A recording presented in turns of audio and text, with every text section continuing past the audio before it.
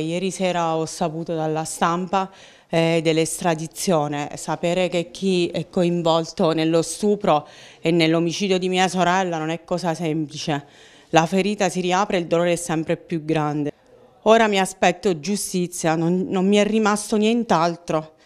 Mia sorella merita almeno quella, non la facciamo morire due volte.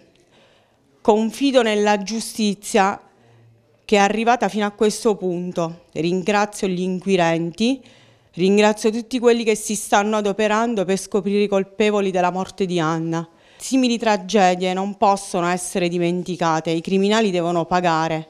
Avvocato, la famiglia eh, di Anna Carlini non si ferma, chiede che le indagini vadano avanti perché i capi d'accusa formulati fino ad oggi eh, non convincono proprio, eh, soprattutto in particolare la signora Isabella Martello. Assolutamente.